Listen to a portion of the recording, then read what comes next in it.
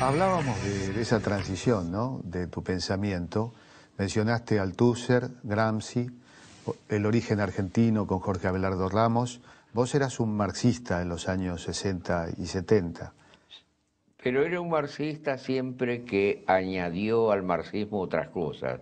Nunca fui un marxista estricto en el sentido literal del término. Eh, como te decía, yo, venía, vengo del irigoyenismo, de una familia irigoyenista, o sea que el sentido de lo nacional y popular es algo que mamé en la cuna, o sea que siempre añadí al marxismo algo eh, diferente. Y eh, esa... Mm, y en el momento en el cual empecé a estudiar a Gramsci sistemáticamente, todo ese lado de lo nacional popular que es tan importante en la percepción gramsciana fue muy determinante. Hay, eh, entre ese periodo y la caída del muro y la caída de la Unión Soviética entra en crisis también una línea del pensamiento marxista que es la idea de la hegemonía del proletariado, el partido de la clase obrera, que luego deriva en el estalinismo. Eh, todas esas evidencias históricas consolidaron también eh, líneas de tu pensamiento.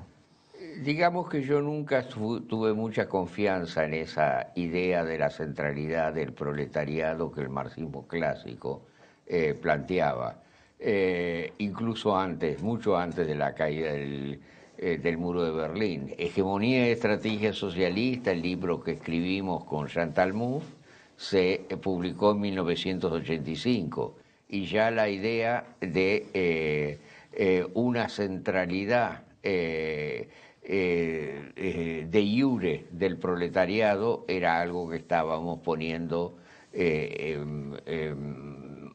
absolutamente en cuestión. Hay un libro, Emancipación y Diferencia, ¿de qué época es? Eso es de los mitad de los años 90.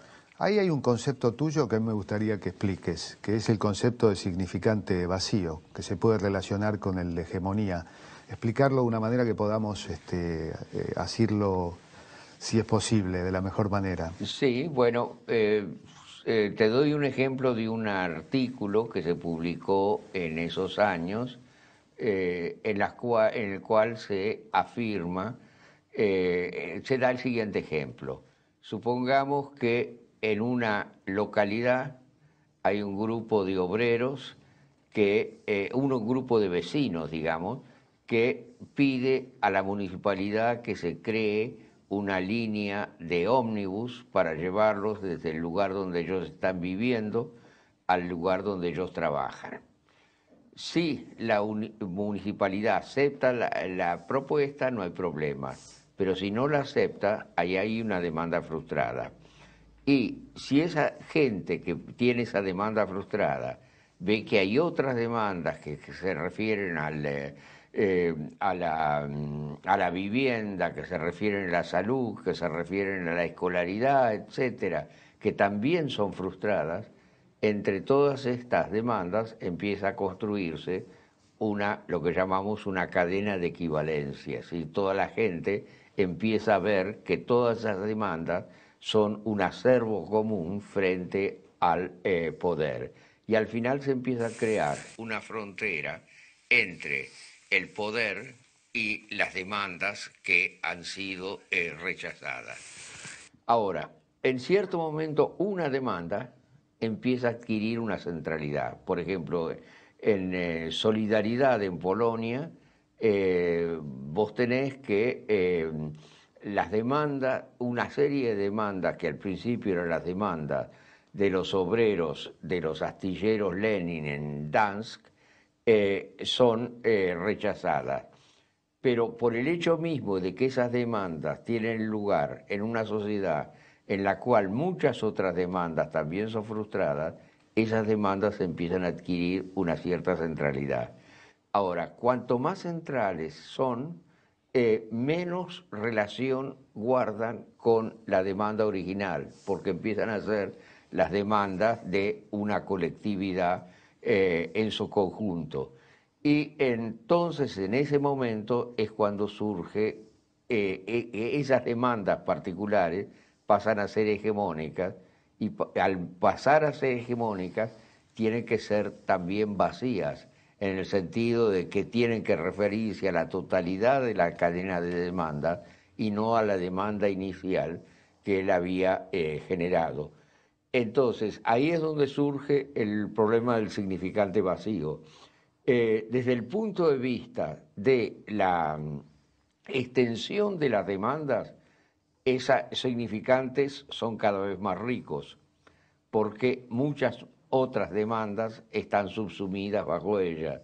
Pero desde el punto de vista del contenido de la demanda, por el hecho mismo de que esas demandas tienen que abarcar la totalidad de la serie, pasan a ser más eh, vacías. En lógica hay una distinción que se hace entre la extensionalidad, que es el número de eh, elementos que caen bajo un cierto significante, y la intencionalidad, que es el contenido.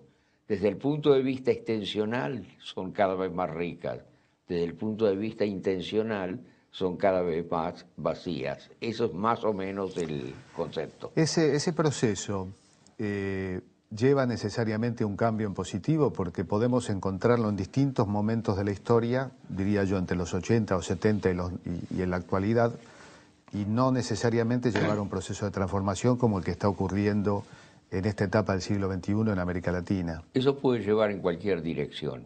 Es decir, eh, el populismo, por ejemplo, que es la consecuencia de este proceso, eh, no es un proceso necesariamente positivo. Es decir, el populismo fue el, régimen de Mussolini en, Italia, pero populismo fue el maoísmo también. Es decir, que el populismo o la construcción de estos significantes vacíos eh, puede avanzar en cualquier tipo de dirección. El populismo en realidad no es una ideología, sino que es una forma de construcción de lo político que divide a la sociedad en dos campos e interpela a los de abajo frente al poder. Ahora, eso se puede hacer desde las ideologías más diversas. Eh, de, de, los, de los debates, tu libro Combates y Debates está bien planteado, te llevó a polemizar con algunos pensadores que plantean, que dudan de este, de este concepto y establecen que la lucha de clases es la determinante, sigue siendo la determinante en los conflictos sociales e históricos ya queda muy poquito. Tony Negri, por ejemplo. No, Tony Negri eh, no estamos tan en desacuerdo. Eh, Tony Negri, eh, en lugar del concepto de pueblo que yo he desarrollado, desarrolla el concepto de multitud. Pero el concepto de multitud quiere decir también para él ir más allá de la lucha de clases en el sentido tradicional, es decir, hay nuevos actores históricos.